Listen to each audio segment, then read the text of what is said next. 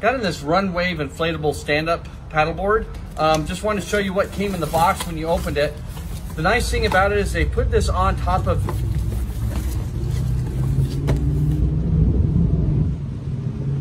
got in this Run Wave inflatable stand-up paddleboard. Um, just wanted to show you the way it was delivered to you. It comes in this box. When I cut it open here, the nice thing about it is it has this piece of cardboard right here.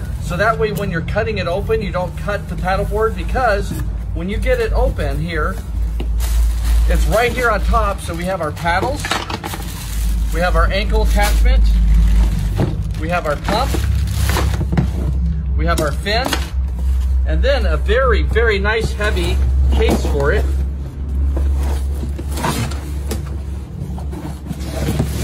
That's a backpack. Heavy duty canvas.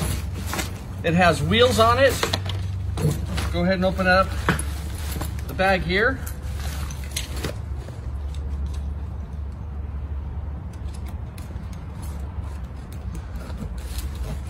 So it's a very nice quality.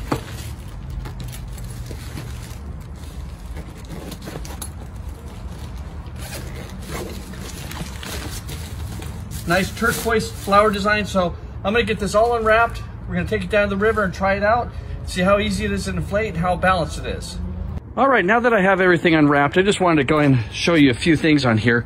It does come with a watertight container that you can attach to the front of the paddle board.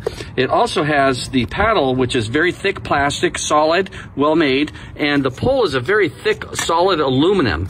Um, so it's gonna be very sturdy, and you can also extend it out using the latch for whatever height you need. So one thing I recommend whenever you're packing this bag is to always put your paddleboard on the bottom, away from the wheels, because I'm going to show you here in a second. Here's our handle. You can pick it up.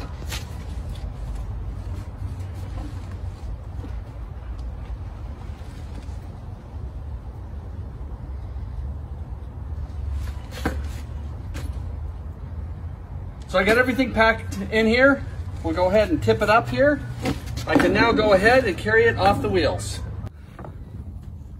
All right, so I've got my Run Wave paddleboard here. I'm gonna show you how to set it up, but first of all, I wanted to show you here, and I didn't know this at first, but underneath here, we have straps. So you can use this as a backpack as well, making it easier to carry. So I'm gonna get it out of the bag, we're gonna set it up and show you how to do it, use it.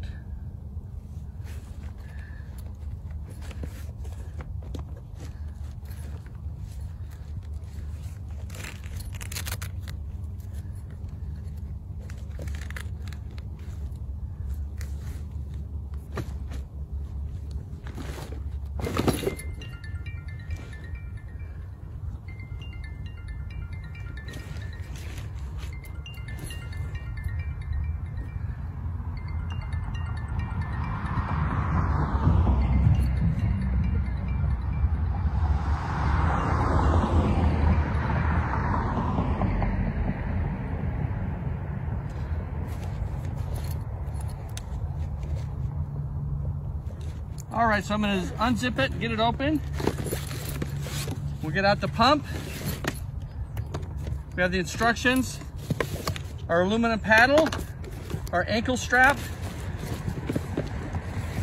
a watertight container, and then we'll get the paddle board.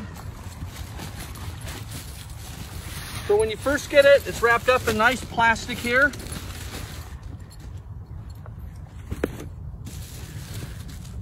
I'll go ahead and get it open.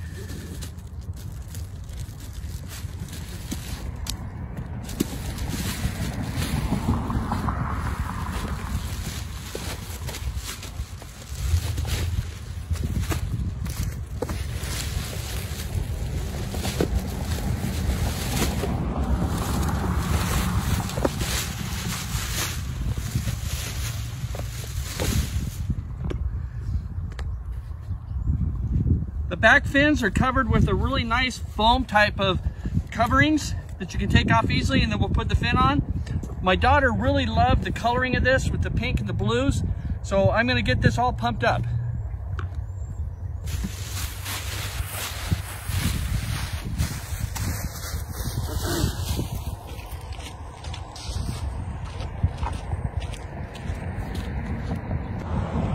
When you get the pump out, you have to hook the hose on, screw it on here, then you have the other side that you're gonna put into your paddle board. It opens up here and you lock it on. So that way we can pump it up and get started.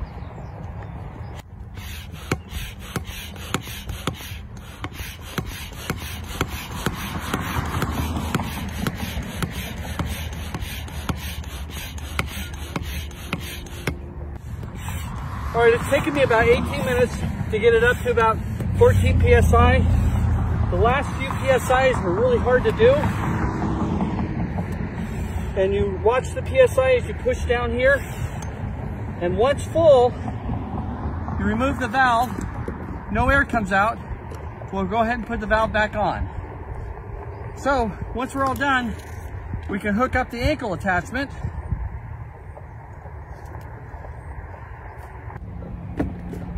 We'll flip it over. We can attach the main fin now, which just slides in here like this.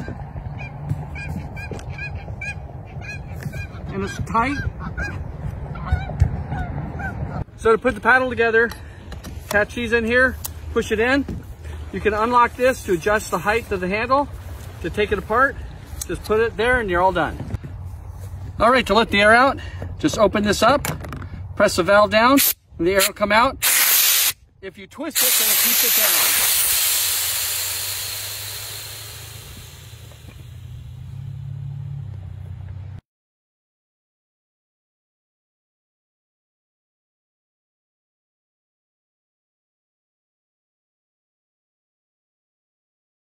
down. All right, we'll get it all zipped up now.